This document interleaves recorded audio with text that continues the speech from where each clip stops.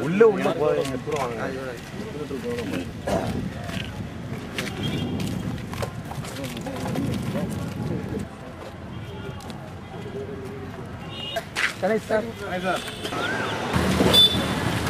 Sorry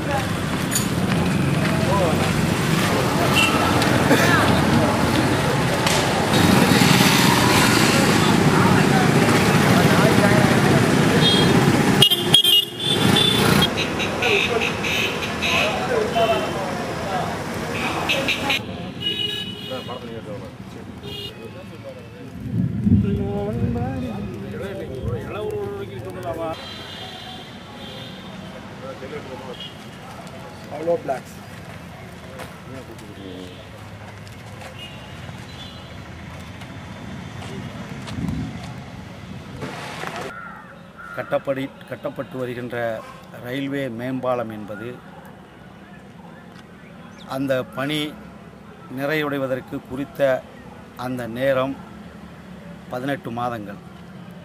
ஆனால் பதினெட்டு மாதங்கள் முடிந்த பிறகும் மேலும் ஓராண்டு ஆகியும் பணி நிறைவு செய்யப்படாதனால் இந்த பகுதியில் வாழ்கின்ற மக்களினுடைய போக்குவரத்து என்பது அன்றாட வாழ்க்கையினுடைய மிகப்பெரிய பிரச்சனையாக மாறிவிட்டது.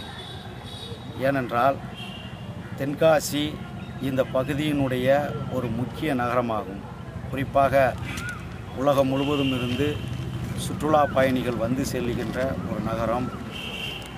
கேரளா தமிழகத்தினுடைய நுழைவாயில் இருக்கின்ற சுற்றுலாத்தலம் அப்படிப்பட்ட முக்கியமான நகரத்தில் கட்டப்படுகின்ற ரயில்வே மேம்பாலம் என்பது அது குறித்த நேரத்தில் முடிப்பதற்கு அரசாங்கம் நடவடிக்கை எடுக்க வேண்டும்.